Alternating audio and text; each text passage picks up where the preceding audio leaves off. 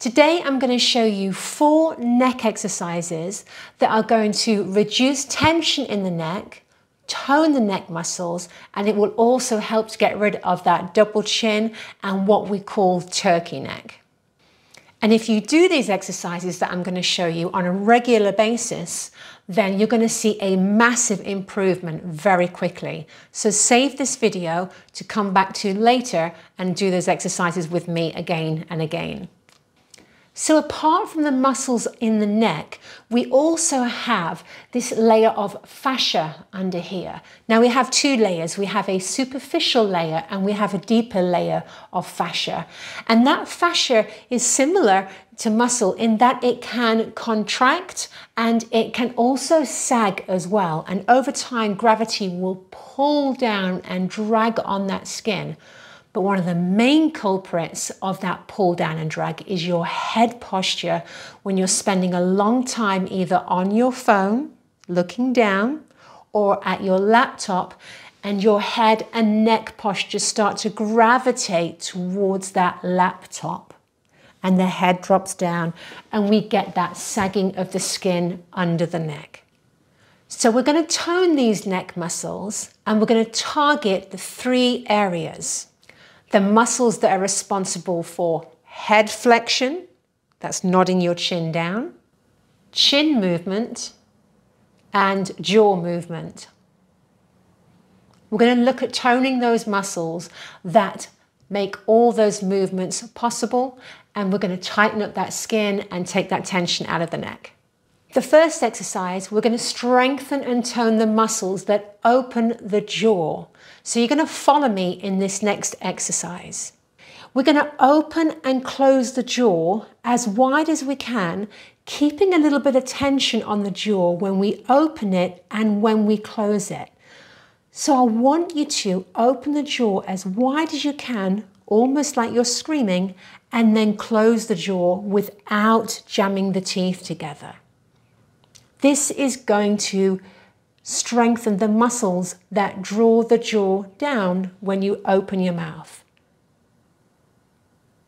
The second exercise we're going to do almost looks like a grimace or a frown, and it activates the superficial fascia underneath the jaw.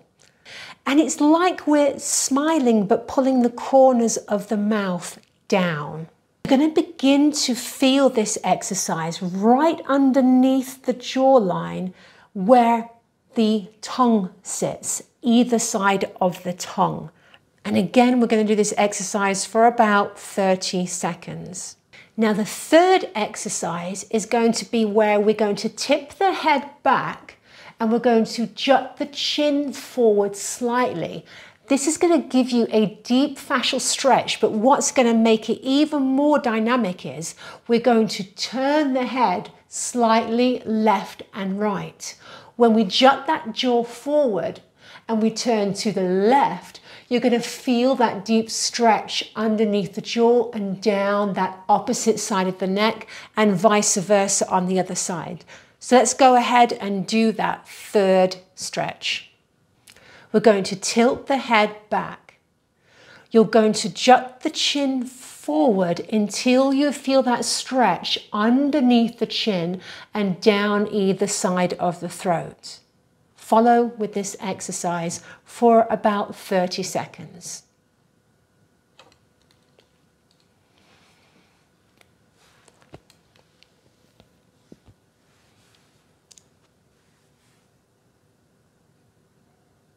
So that third exercise helped to stretch and elongate the neck here, both the muscles and the fascia, which is going to help us do the next exercise where we're going to lay back and we're going to use your own head as the body weight to bring the head forward and strengthen this entire network of muscles here, which is going to help lift and tone that neck.